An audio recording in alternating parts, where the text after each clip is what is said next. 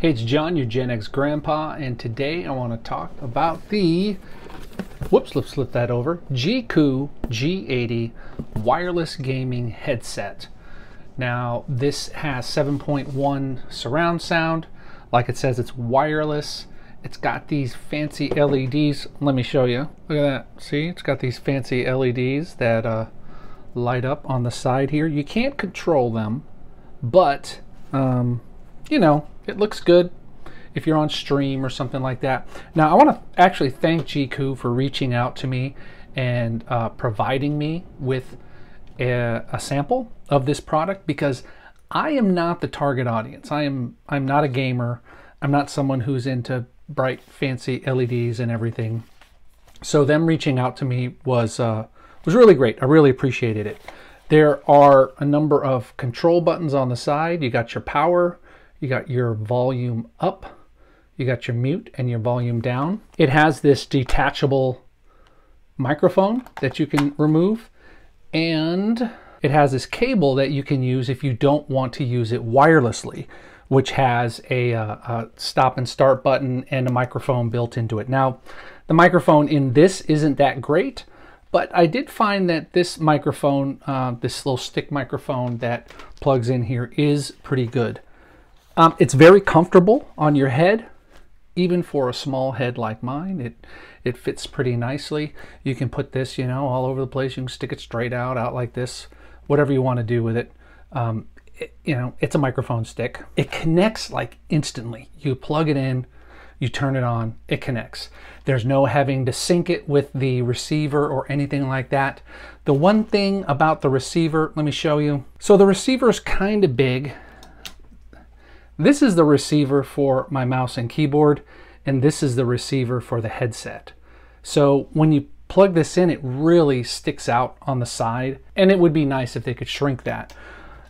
Other than that, I mean, I have no complaints. I did a 7.1 surround sound test with this, and it seemed to make the sounds come from where they were supposed to come from. Now, there's always the the, the, the suggestion right, of when you're looking at an image that, okay, that's where the sound's coming from. But it did sound like sound was coming all around.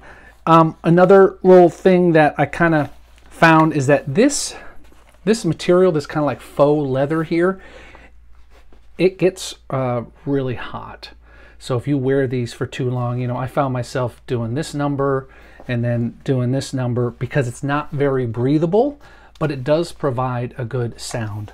Um, it's got USB-C charging down here and it comes with a charging cable for that. So all around, I think this is a great product, especially for the price. You know, for 66 bucks, I think it's a great price, especially since you can use it wired or wireless. So, you know, when the charge runs out, you can plug it in and and continue uh, using it. I list, I watched a couple movies wearing them. The movie sounded great. Played a few games. They sounded great.